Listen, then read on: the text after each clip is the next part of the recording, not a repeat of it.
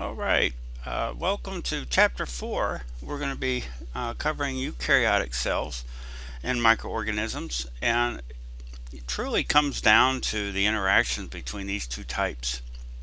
Uh, that's really what disease is.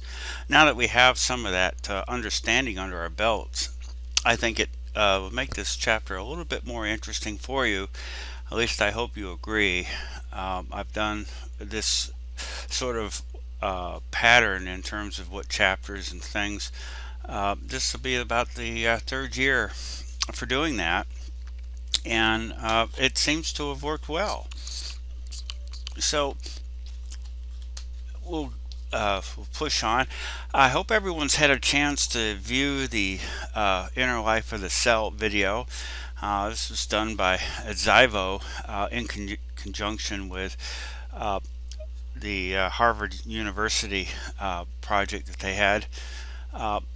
it's it's a very good project that um, that uh, took, I guess, uh, four years in the making, uh, and it's still under underway. They have a lot more videos, and I will uh, bring those out uh, on due course.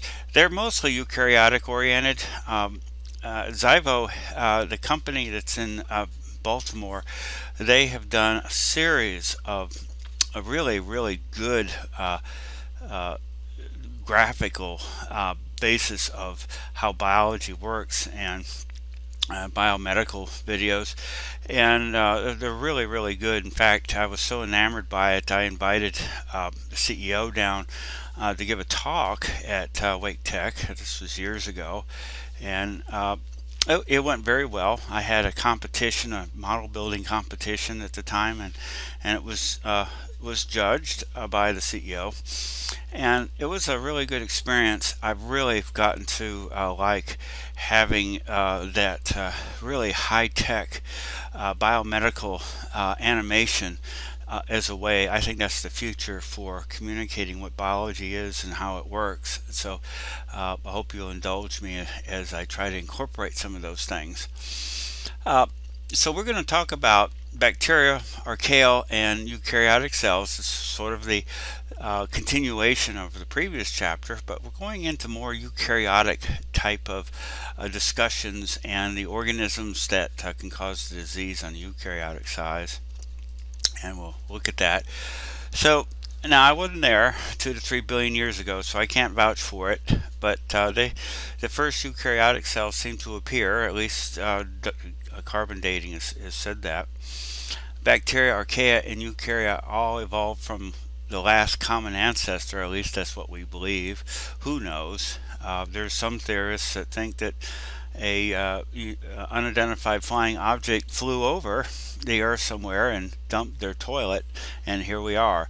Uh, that was a joke. It, uh, I don't think there's anyone that seriously believes that, but if they are, um, interesting. Uh, First primitive eukaryotes were likely single cell and independent. Well, that would make sense. Simpler first. Over time, cells aggregated, forming colonies. And then the colonies, you would imagine, would become more specialized and more complex into multicellular type of organisms as they uh, evolved from the individual cells and then they lost their ability to survive separately because they work. See, this is where the concept of biofilms kind of weaves its way through about everything if you look at it that way.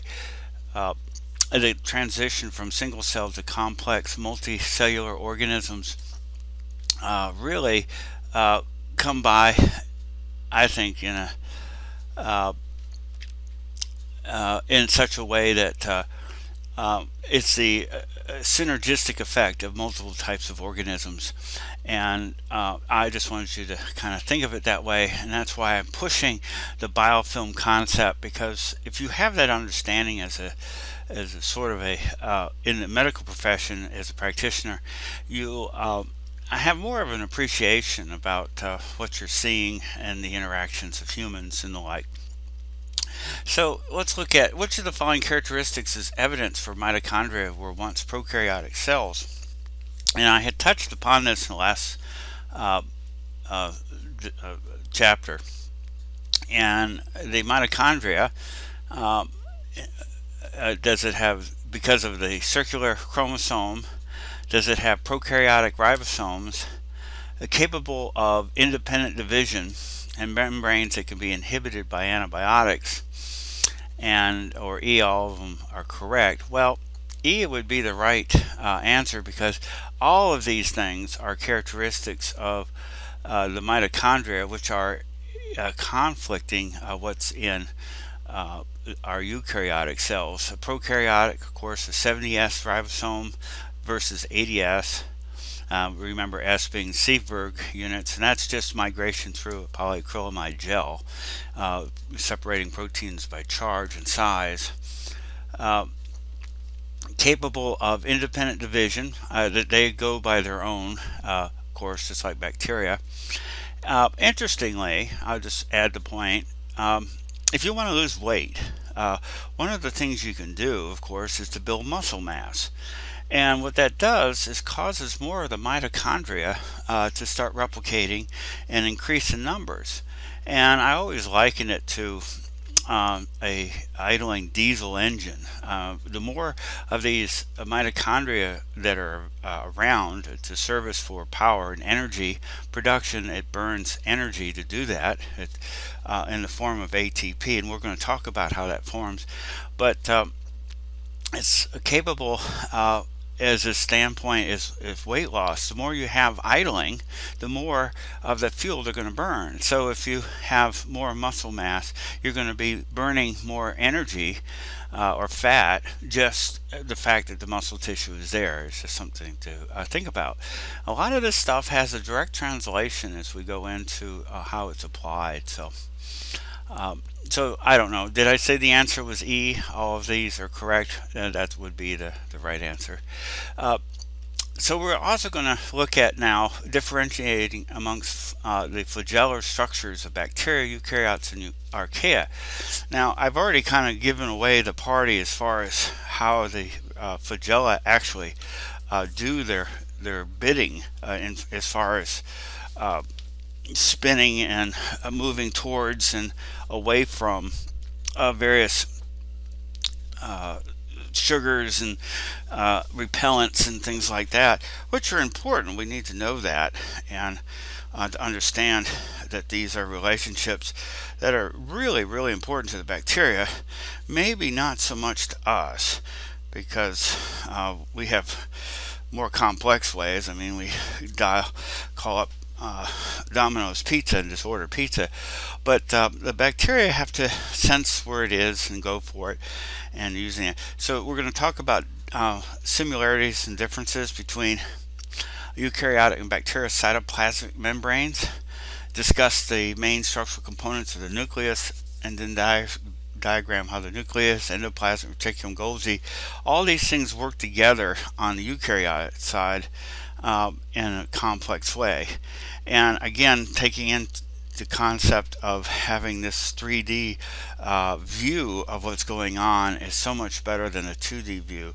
Uh, so, and then we're going to talk more about the mitochondria and of course how the ribosomes work and how the differences are talk about the three main fibers of the cytoskeleton and then talk about this amazing concept of the endosymbiosis, which I've already spilled the beans on, which means uh, life forms uh, uh, through a process of coming together uh, inside. So endosymbiosis contributed to the development of eukaryotic cells. Very, very interesting. So here's the structure of a eukaryotic cell. Um, if you look at uh, one aspect of a, uh, a, fibrous type of material like flagellas or cilia, uh, uh, the idea I wanted you to think about is is microtubules arranged in such a way. We have nine such configurations with two in the center, and this makes up uh, sort of a strand or fiber uh, of material. And this is, of course, uh, within eukaryotic cells. And so eukaryotic flagella, so, so, like the tail of a sperm cell will have a flagella that has uh, uh, these types of structures, uh, networking of, of this uh, microtubules, but different from bacteria flagella, thicker by a factor of 10. So they're really uh, much bigger, which we can imagine, structurally more complex, yes, covered by extension of the cell membrane, long sheath cylindrical or cylinder uh, containing irregular space microtubules. So microtubules are sort of the, the components. Every time we start to see these macrostructures, they are made up of microstructures. And it's, it's that understanding that helps us uh, appreciate uh, the complexity of nature. Uh, eukaryotic cilia similar to flagella in structure but are smaller and more numerous, which makes sense uh, found only in a single group of protozoa in certain animal cells. The glycocalyx, the outermost layer that comes in direct contact with the environment, is composed of polysaccharides. We've already talked about the glycocalyx. Uh, network of fibers, the slime layer and capsule, contributes to the protection, adherence, and signal reception. And so we're going to um, talk about well, what's signal reception? Is it picking up FM radio or TV or something? Uh, we'll get back to that here in a sec. So the boundary structures the cell wall. Protozoa and helminths do not have cell walls. Cell walls of fungi, if you think of it, uh, just remember the last time you had to clean the shower.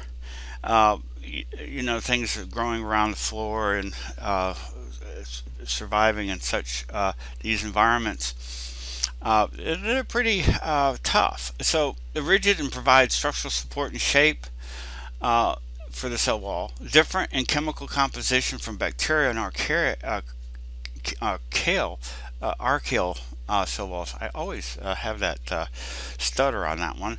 A thick inner layer of polysaccharide fibers composed of chitin or chitin. That's depending on um, uh, how you want to say it, more like uh, Greek would be chitin uh, or cellulose, which is a type uh, we know about fingernails and things like that, or cellulose at uh, grasses and things like that. a thin outer layer of mixed glycans. And so, in how they're linked is the key, having a beta type link. So, the cell wall is tough and rigid. So, you have these mixed glycans, the glycoproteins this chitin, this this really strong type of material in cell membrane. So this is uh, sort of the a view of the the fungi, and uh, you can imagine that it they're a totally different class of antibiotics if we want to try to get through all that. And really, we only have three or four that we use consistently. Uh, to go after these fungi, but this is the reason why they're so tough is uh, the cell wall and we'll come back to that. So the typical bilayer of phospholipids in which protein molecules are embedded. So it is more characteristically embedded with proteins than we see in bacteria or archaea cells. Contains sterol, sterols, which are steroids of various types, that just like any type of sterol, uh, will add rigidity. It's, it's sort of like adding, um, you have cholesterol, which it's sort of like adding glass or panes of glass to a membrane. It makes it a little bit more rigid, more stable, so it's not as, you know, the phospholipids kind of float like you were seeing in that video, uh, the inner life of the cell. Things are more dynamic, more interactive, and cholesterol either allows these lipid rafts of things that are associated that migrate together. So you could have proteins and various uh, things together, held together on a raft using sterols. And so you have like function things kind of uh, convalescing together and they float around. And I don't know if you picked that up in the movie, but they had some examples of that. Really important. So this kind of the sorts of things that happen with that. Important in cells that do not have cell walls. So um, the cytoplasmic membrane serve as selectively permeable barriers. So that's true for pretty much any of the cytoplasmic membranes for anything really. Uh, in the nucleus is the most prominent organelle, which you would think are uh, eukaryotic cells, because hence where all the programming lives for the cell and all the the uh, features that um, are reproducible and uh, are uh, actually uh, sort of uh, the program's executed, so things are made. Uh, so they're uh, created that way. So separate from cell cytoplasm by an external boundary called a nuclear envelope. So an envelope, like you send anything in an envelope, kind of you can seal it and protect it and do that sort of thing, mail it and that sort of. The nuclear envelope is uh, just that. It's a protective. It's composed of two parallel membranes. Now this is a common thing that's overlooked. It's not a single membrane. It's it's two parallel membranes. They're sort of uh, uh, uh closed itself like uh, those packages that we send that are uh, have bubble wrap and we actually put things inside that but the membrane is actually like two layers of that bubble wrap um, by that, that narrow space uh, perforated with small regular shaped pores so we can move things in and out. Uh, the pores are the portals that we can move uh, the messenger RNA out of the, or uh, proteins depending on where the ribosomes are.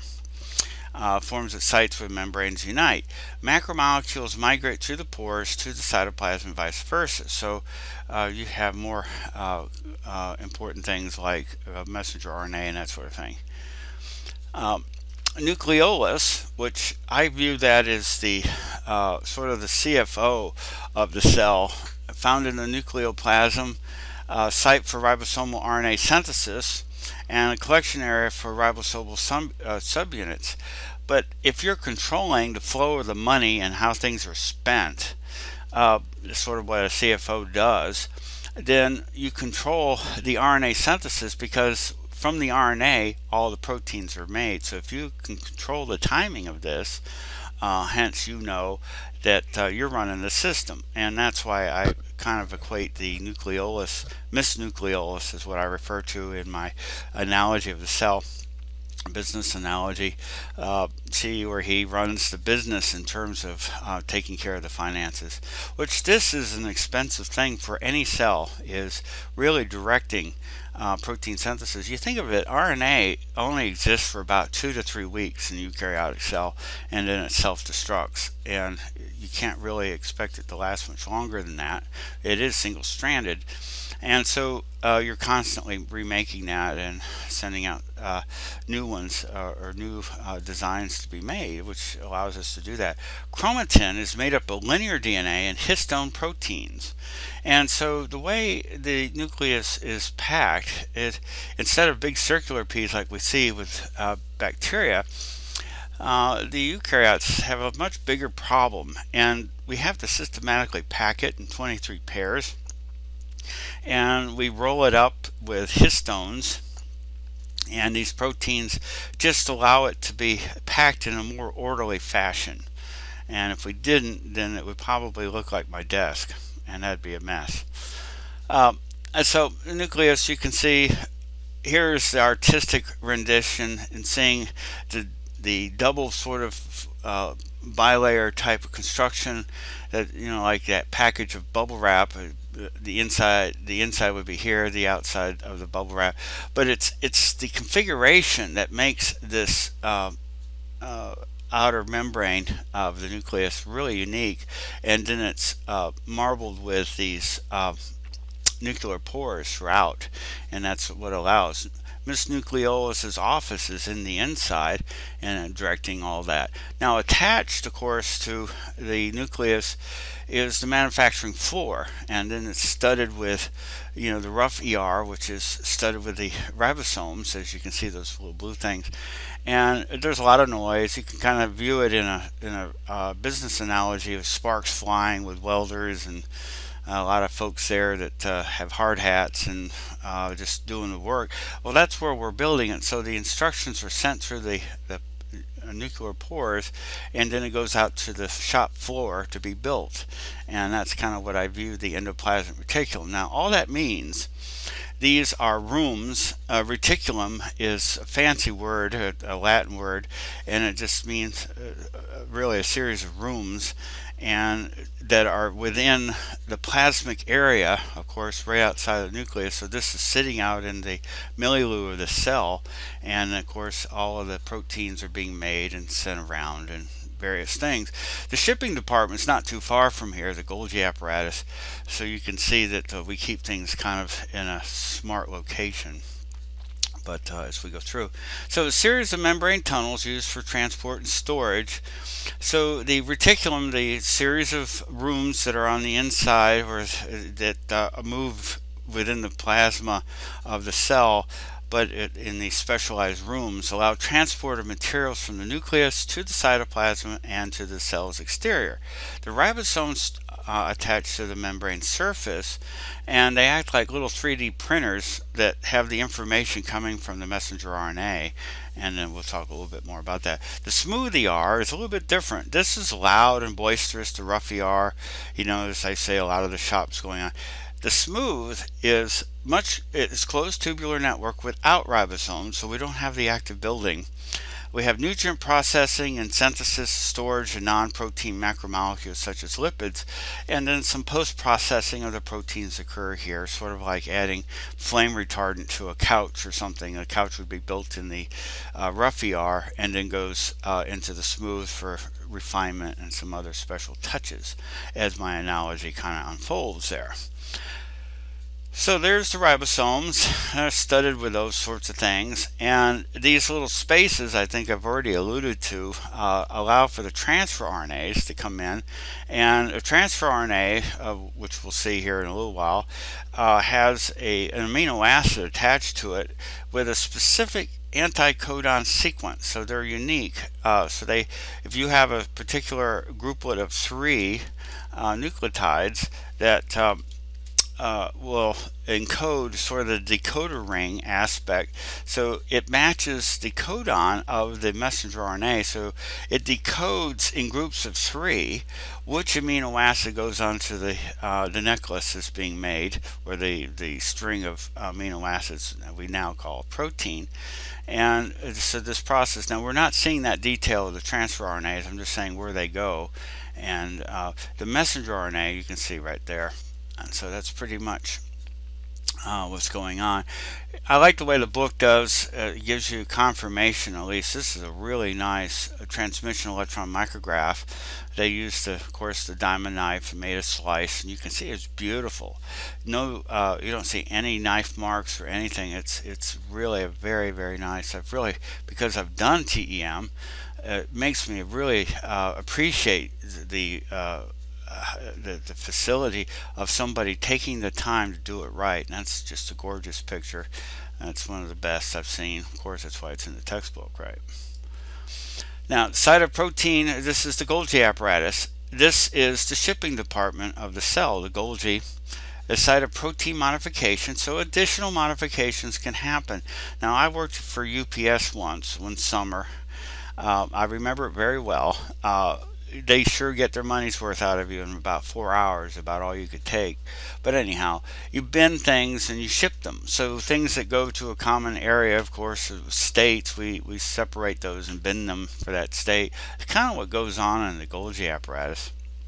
It consists of several flattened disc-shaped sacs called cisternae, and uh, I kind of view that as bins, always closely associated with the endoplasmic reticulum and transitional vesicles from the endoplasmic. So essentially, the uh, endoplasmic reticulum, the smooth ER, uh, is aligned right to the back door of the receiving end of the Golgi apparatus, which is the shipping department. So we move things to the back doors of the shipping department to be moved uh, bend and then shipped out the front side of uh, the Golgi apparatus. Really, it does kind of work like that. Proteins are modified within the cisternae by the addition of polysaccharides and lipids, so we're adding even more additional, maybe even uh, some of the things that didn't get, to, let's say, treated for uh, flame retardancy, it still could be added in the Golgi apparatus. It's whatever, uh, you know, it's been somewhat logically figured out. Um, by the cell and the, and the chromosome. Uh, condensing vesicles pinch off the Golgi apparatus. Now, the Golgi apparatus, what it says pinch off, and this is kind of, you know, literally does, but there's a very important thing that's happening here. And the video that you uh, watched uh, with the inner life of the cell does show it uh, throughout. But what's really nice you know, when you go into a grocery store, they sort of expect you to bring your own uh, shopping bag, right? Uh, you don't want those plastics, and that just adds to the trash and blah blah blah. And so the idea is it's you're recycling, you're reusing something over and over again. Well, that is really the amazing aspect of eukaryotic cells and and prokaryotes in some ways, but uh, the phospholipid bilayer is that reusable kind of container. And so uh, we can just pinch off membranes and form this like shopping bag uh, and that has proteins and things all contained in it. And then it moves uh, by uh, the FedEx delivery guy uh, literally uh, to wherever it's going to go. But that bag or that container, that cardboard box, is a phospholipid bilayer and then that could be reused no matter where it is in the cell because uh, uh, all of everything is made up of these phospholipid bilayers so you can meld wherever you want it to go it's it's just an amazing system it's something to really uh, to appreciate so here's the endoplasmic reticulum going into the uh, receiving uh, dock of the Golgi apparatus in the back door. And then through the front door, you can see things blebbing off. These are phospholipid bilayers. All this being is really technically a micelle, a very large micelle, and in it is embedded proteins in the membrane and free floating on the inside. So they're like little balloons. Now they've cut them open just so you can see, you know, kind of halved it. Uh, so you can see the structure, which again, it's also misleading to think of it that way. So um, I'm going to ask you to close your eyes and magically pretend to see these things as sort of like uh, soap bubbles. And no, we won't go there. It's okay. Uh, the idea is a phospholipid bilayer. These are contained. They're not open and they're floating around and they're moving. Uh, and then a very important thing happens is the FedEx delivery guy now takes these. Now, if you saw in the movie, there was something that had two legs moving across a nanotube. Well, that is the F, uh, the Fe federal uh, or FedEx delivery guy uh, that is not a cartoon. That is actual. That's called well. It's a, it's got uh, two motors. Uh, that the legs are dyneins, and uh, that's called a kinesin. And that uh, little thing that moves carrying the sac of one of these with embedded freshly made proteins goes to anywhere within the cell, and it knows where to go because that little uh, self-assembled uh, nanotube that's walking on, uh, if you go back and re review the movie or if you recall, it goes to wherever its destination is carrying very faithfully that uh, little uh, freshly formed uh, vesicle and the kinesin just takes it where it needs to go. Isn't that an amazing system? Uh, to me, it's just it's just jaw dropping. So the nucleus endoplasmic reticulum Golgi apparatus is nature's assembly line. it, is a business analogy totally applies that you uh, in the nucleus you come up with the designs your CAD programs you print them out it goes out to the shop floor the designers look at your your plans and then build it whatever it is in the endoplasmic reticulum we build it then we have to ship it wherever it's going to go, how it's going to be used. So we take it to the shipping department, the Golgi apparatus. Of course, we label it and it knows where to go, has the labeling in bend and uh, vesicle forms, and then a kinesin where the FedEx delivery guy takes it to wherever it's going to go. And that's pretty much everything that's uh, written here, uh, but in an analogy form. But that's what's going on, and it's it's quite amazing to, to think of that. So here's pictorial process in a 2D sense. Now, again, this is sliced, sliced so you see the openings of everything. Um, and I don't want you to get the wrong impression that it's not totally contained. That's why I like the uh, inner life of the cell so much better because that shows you realistically what's going on. Now, one of the things that the authors will tell you is it's a lot more jam-packed with things that are going on. It's a, a process that's really kind of uh, mind-blowing. It, it is just so much, it blinds you from what's seeing the big picture. So that video kind of takes away some of the complexity. It's not making up or making cartoons. Those things that you saw in the video were actually made from the electron microscopies and, and various other ways of visualizing what's going on. And then they uh, made renderings of that uh, realistically as best they could. So I think it's amazing.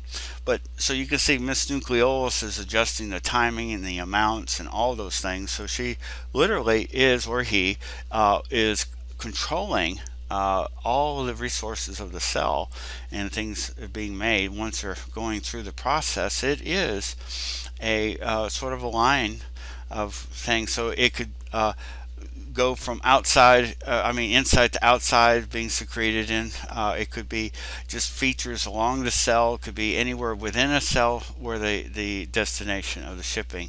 So it's, it's quite amazing and I hope you followed along on that. We have some specialized other vesicles. We have the uh, paper shredder, which is the lysosomes, contains a variety of enzymes. Uh, in the intracellular digestion of food particles. Uh, so we're constantly recycling participates in removal of cell debris. Of course, that's what we want to do. If you didn't do that, then the cell would be sort of like, you know, my desk with just crap everywhere. And eventually you do have to remove it. And if something does get damaged, you need to, to clear away the damage and repair.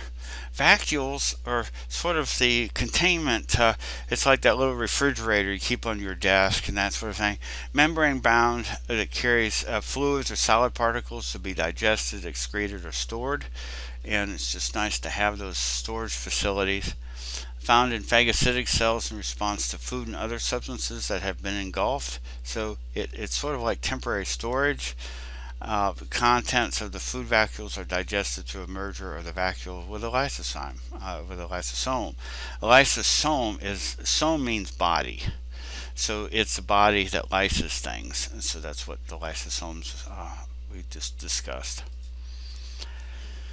So uh, the whole process, engulfment of food, formation of food, vacuoles and storage, and, and a lot of it is just temporary. And again, please view the inner life of the cell to see there's the kinesin, there's the freshly formed uh, material, a phospholipid bilayer or the vacuole, uh, a container uh, with you can see all the embedded proteins and there's proteins floating on the inside of this but it's a big sac not like that open sort of cross section that you saw. It, it, this is what it's doing. The kinesin's walking along this uh, a, nanotube that uh, spontaneously forms. You can see them all over the place. It's like highways and a little kinesin is taking it where it needs to go. And again it's just amazing. And if you get a chance. Now there's another one under here. It's called Harvard Protein Packing, and that shows you all the proteins that are being that have been made or various types and how uh, congested cells are with this. So the next time you go around and you don't get enough to drink, you can see that things get a little bit denser than you would like to have uh, and that's not a good thing because then the activity of some of those proteins or the enzymes won't work and then the headaches and soreness and bad things happen. So the mitochondria let's talk about the mitochondria. And let me zip uh, forward here a sec. Uh, it's a sac within a sac. And so what we have is this inner membrane and the uh, outer membrane and the matrix. So we have an inner side and an outside. All I'm going to tell you so far as we get into this uh, is from the inside to the outside across here. Uh, it's a concentration gradient and of hydrogen. And that is really the trick, the secret of why we want this bag within a bag, uh, because it forms a battery effect. When you have a higher concentration of hydrogen versus the lower concentration, that is a, uh, a potential across that membrane, and that's a battery. And batteries can be used uh, to power my cell phone or that little cooling fan that I have on my desk. Uh, believe it or not, uh, to making ATP, which that's what mitochondria are really for, uh, producing energy in the form of uh, chemical bond energy, uh, ATP, adenosine triphosphate. So the chemical bond energy is in that phosphate bond. uh, that can be used to do work, uh, shape change, and that sort of thing. But how all that happens and occurs is by an automated system, and I'm going to uh, show that to you. Uh, at some point where the uh, little motor spins as a result of that battery effect. And when it spins it's making ATP from ADP and inorganic phosphate. And how it does it, enzymatically, but it's done on a revolving wheel type of thing. And that's the only way we can be that's sustainable to make enough energy to keep all the things that we do. And you can imagine an incredible amount of energy that we go through in, in a day. And this is done, uh, the only way to do that is by uh, just automating uh, billions and billions of these little machines uh, called ATP synthases, and they spin, and all they're doing is literally moving ADP and inorganic phosphate in such close proximity at the molecular level together, the amount of energy it takes to build that ATP uh, or to get it back, if you want to look at it that way, is very, very small comparatively to the energy that you get from it. So this is this is an amazing aspect uh, of what's going on in a mitochondria. So let's go back. Uh, it's composed of smooth, continuous outer membrane within the inner folded membrane. So that is where the battery is forming. Folds the inner membrane are called cristae holds enzymes and electron carriers of aerobic respiration. So enzyme would be that ATP synthase, that's an enzyme, extracts chemical energy contained in the nutrient molecules and stores it as ATP. Well, that is for the general population, but for you, what it's actually happening is that we are charging up batteries uh, from uh, hydrogen, essentially within uh, the uh, mitochondria, we break down various sugars and release energy, hydrogen, across the membrane, and we charge up the inner part of the sac, or the inside of the, the inner sac, and with a higher concentration. So as compared to the outer part, it is a much higher potential, and you get a battery effect. Hydrogen zips through to go to the other side because, you know, osmosis and that sort of thing. And as the process of that intermittent or that temporary positive charge as it slips through, ATP synthase takes advantage of that positive charge and starts to spin this little uh, sort of uh, series of proteins, and it spins just like a fan. And it has a stator which pushes two proteinaceous uh, subunits together, and that's how we get the inorganic phosphate and uh, ADP to come in such close contact to make ATP. And that is the true story, what's going on. It makes this boring, uh, uh just boiled down version silly in comparison to really know what's going on with the ATP synthase. So it's important.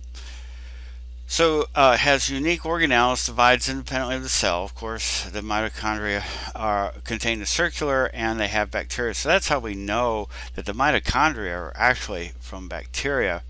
And all we care about though is that it knows how to make ATP and it does that by having these ATP synthases embedded everywhere and uh, going across. Now it shows the ribosomes and all that for making the proteins and various things. We have to have the energies to make the ATP synthases and all the other things that, that uh, the mitochondria have to do.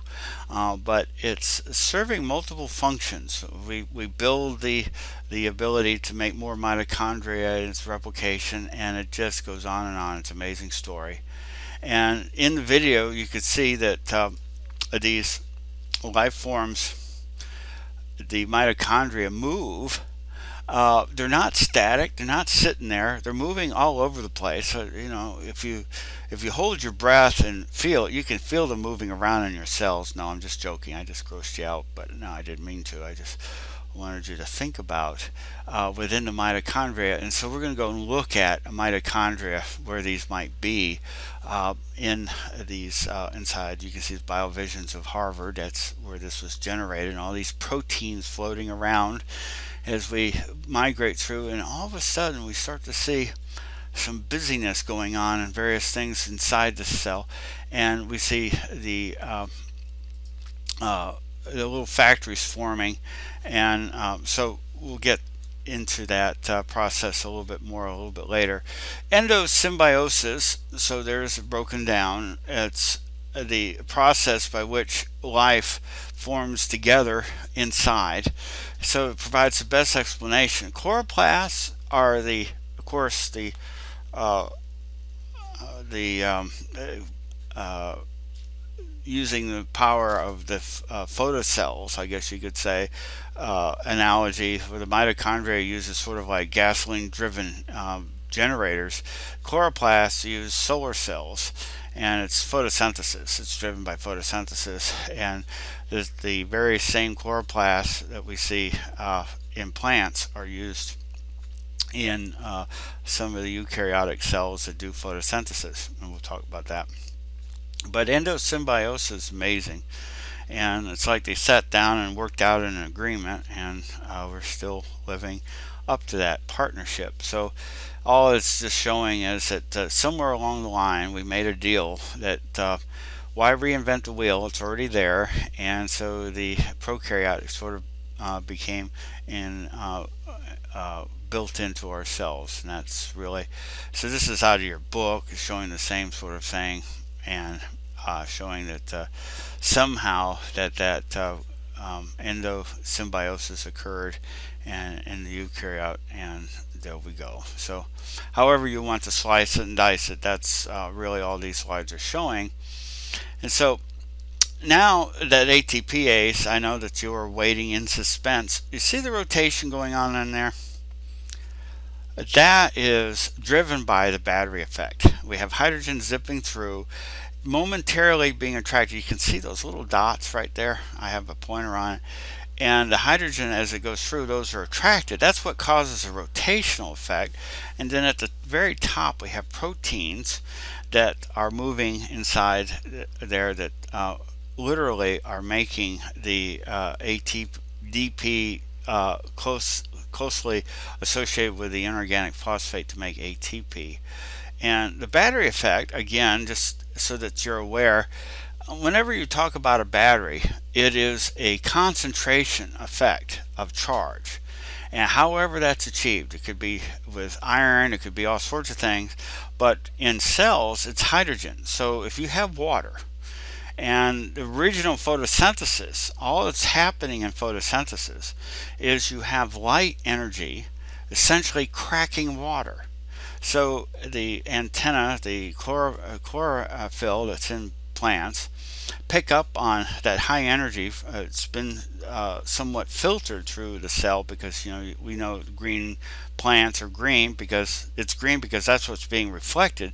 It's being filtered, so we get a perfect um, frequency of light that happens to resonate water and resonates water in such a violent pattern that the hydroxyl group and the hydrogen groups break apart and we get the hydrogen part and that uh, is the energy that we're grabbing for photosynthesis that stores of course uh, uh, in the form of ATP and then we have of course everyone um, dressed up in uh, specialized clothes uh, if you're following uh, in photosynthesis. Uh, and we have the uh, the night crew that comes in that actually in the Calvin Klein clothes that they're wearing, uh, the Calvin cycle, uh, make the cookies. so you have the energy during the day formed in the form of ATP because it cracked water from the sunlight and then uh, at night they make cookies or form the sugars in the plants and there that's photosynthesis well based on that same kind of concept as the concentration, we get a battery effect. And there's the secret. And so we have uh, the hydrogens that uh, zip through, uh, which it, it's it's bidirectional. You can spin it uh, whichever way based on the charge of the battery. But it requires the higher concentration on one side of that membrane from the outer. Now that's why we have a bag within a bag uh, in the mitochondria. So we have a difference in the hydrogen concentration. And as the hydrogens go through, uh, it gives you that momentary attraction to that positive charge, and that starts to spin because there's essentially uh, no resistance uh, here. It's fluid based and it's spinning as a result of that. The subunits, uh, we have ADP and inorganic phosphate held in uh, the embedded in these proteins. And here's this, uh, the, the stator that pushes the two subunits together and forms ATP and it just does it on a routine uh, basis back and forth not just one but millions of these things are occurring with uh, I don't know 10 15 of those centers uh, embedded in the protein so every spin you're doing a huge number of ATP and you get billions and billions of these in, in, embedded in the mitochondria's membranes so if your head hasn't exploded yet uh, this is how ATP is made, and you didn't know you had a little uh, these nanomotors everywhere. You got billions of these. Bacteria do the same sort of thing. Uh, so you think that uh, bacteria are stupid or something. No, they have the same kind of technology. They just don't have all the fancy, uh, you know, it's like Lamborghini versus a Pinto. But either way, it, it, it does the trick. And I hope that makes sense to you. And so uh, it's all about uh, the formation of the hydrogen that drives the ATP synthase and to make uh, ATP from ADP.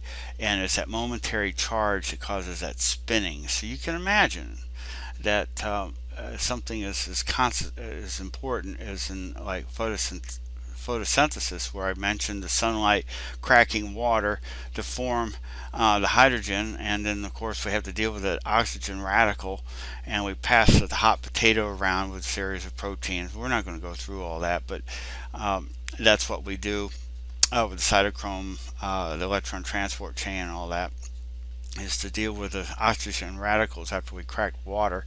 But the hydrogen is what we're actually after and that's what causes the charging of the battery. And so there you go. And that makes a really interesting design of a uh, look at those. There's always appear uh, uh, uh, come in, in pairs of two and you can see ADP and inorganic phosphates come together.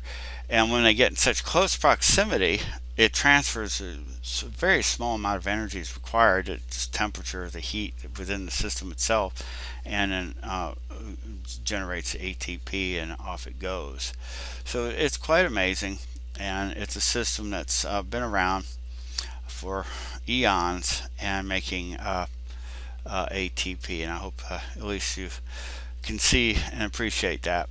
So the chloroplasts found in algae and plant cells capable of converting energy from sunlight so it can crack uh, the water molecules to uh, charge up batteries to make ATP synthase, and that's been around for a long, long time. Um, the chloroplasts resemble the mitochondria but are larger and contain special pigments so that it can filter and do what tricks that it needs in order to get the the light to resonate to form uh, this this resonance that breaks water literally breaks water apart resonation is an amazing process it stores it in these containment areas. So where the water gets cracked is actually in these little granules. And uh, it contains, they're little containments, like little reactors. And because you wouldn't want that uh, having all those oxygen radicals running around. We have to contain those sorts of things. And uh, But they're little batteries. And they kind of look like watch batteries if you think of it that way and that's what uh, makes the ATP synthase and then the Calvin Klein uh, wearing uh, fact, uh, the uh, staff or the employees come in at night and make the cookies based on the ATP and incorporates the chemical bond energy in the form of sugars and glucose and there you go in less than two minutes you got the whole thing in photosynthesis but the real deal photosynthesis not this kind of cook up cookbook type stuff. Plants are not only organisms capable of photosynthesis, cyanobacteria can photosynthesize. Slightly different resonance, but that's okay. It still does the same sort of thing. Dinoflagellates and kelp and blah blah blah. And resonance, it's all about frequencies. Light is a frequency. It it it uh, each frequency, and of course, you see these colors because it's resonating with pigments uh, that are in your eye when you studied anatomy, you, you, rods and cones. And we know that uh, the cones had uh, certain pigments that when it resonates a frequency to a particular uh, frequency of let's say red or whatever, uh, it starts to vibrate. When it vibrates, it fires a neuron and lets the brain know, hey, I just saw some red and blah, blah, blah. And that very involved process, but it's all about that. And resonance is a very big deal and uh, makes up all of life uh, to really drive this, taking water and cracking it into oxygen and hydrogen and uh, H2O and so this oxygen radical, oxygen is toxic, by the way, as you know. Um, I just go into any retirement home and ask, don't go over there, start touching their shin, but you notice it's hot. And that's because the blood stasis is starting to build up in the shin area because they're not getting around and walking as much as they should. And then you start creating a response against it because of the oxygen radicals and you get the tissue thickening and all the bad things that happen. But we got to get rid of these oxygen radicals and that's a part of the process electron transport chain and various things. And even in the process of handling the oxygen radicals we can actually charge the battery even more so it's all about that and so again it's all about uh, uh, having frequencies and resonance and all that sort of thing. So ribosomes distributed throughout the cell, scattered freely, attached to rough endoplasm. We've already talked about that. Appears on the inside of mitochondria and chloroplasts Can be found in short chains of polyribosome size and structure. Large and small subunits of ribonucleoprotein uh, that's a mouthful. Ribonucleoprotein. So it's proteins and uh, RNA all kind of blended together. Uh, eukaryote ribosomes, ADS, a combination of 60 and 40. Yes, I know that adds up to 100, but it's again, it's a migration pattern through polyacrylamide gels, and we call it Svedberg units. So it's its effective size and shape that gets through that field and, and that uh, um, matrix of polyacrylamide so that's how we measure it. Um, but it is important to know that the subunits are different sizes too. Uh, you know we're, we're looking at 50s and 30s uh, in the uh, prokaryotes so these come and clamp together on the messenger RNA and then that allows the transfer RNA which I'll go ahead and show.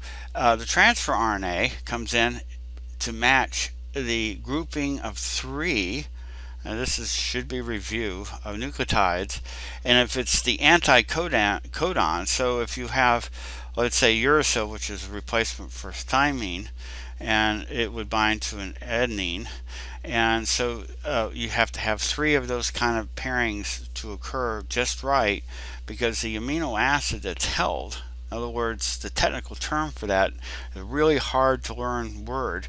It becomes a charged transfer RNA.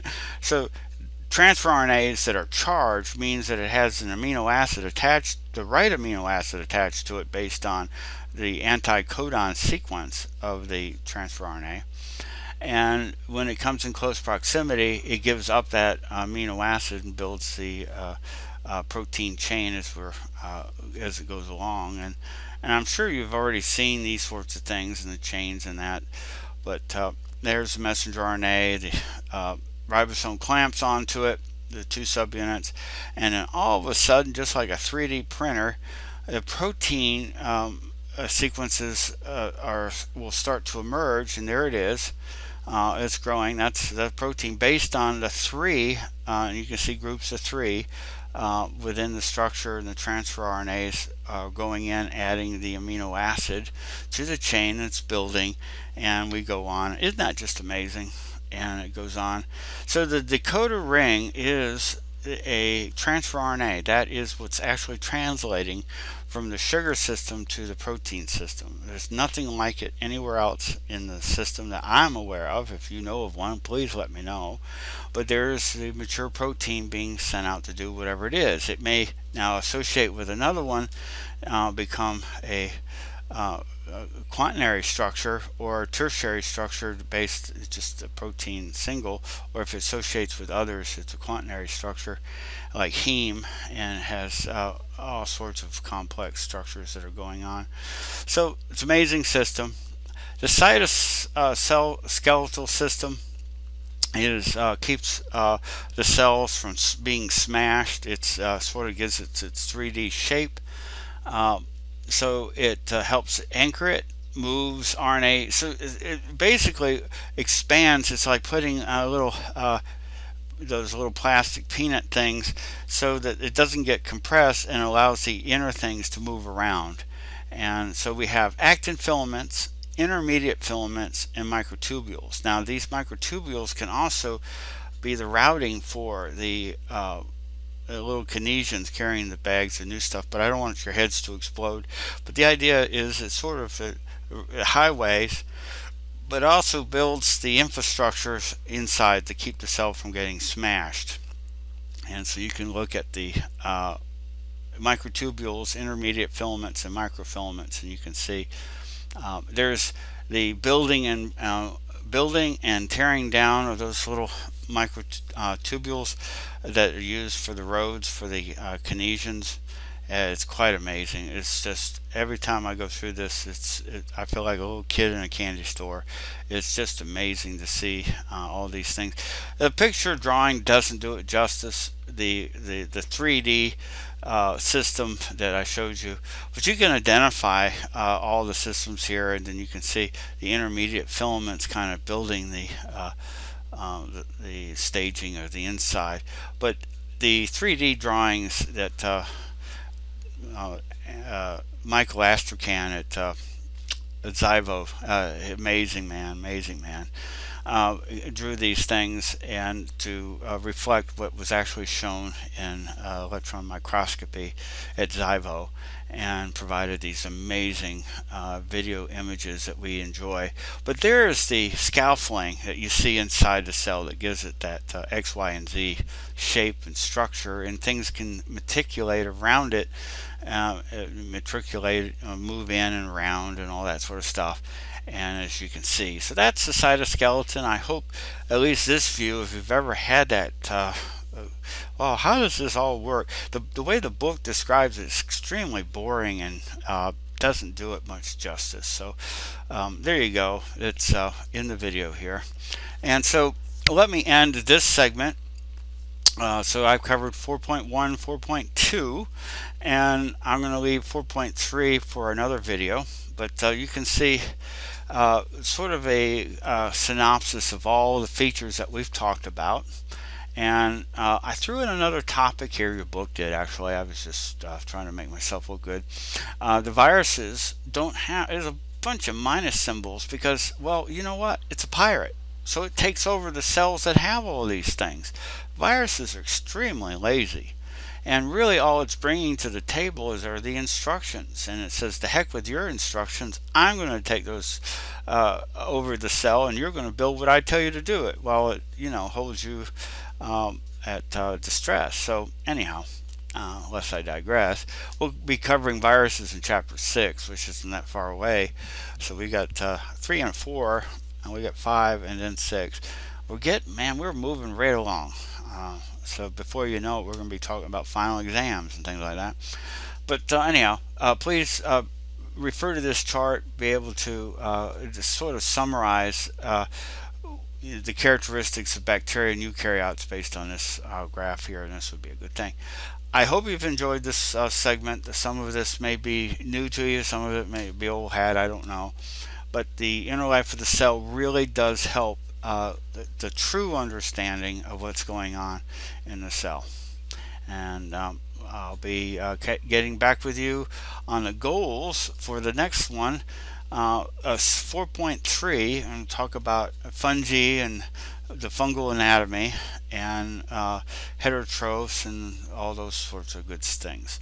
I'll talk to you then. Take care. Be safe.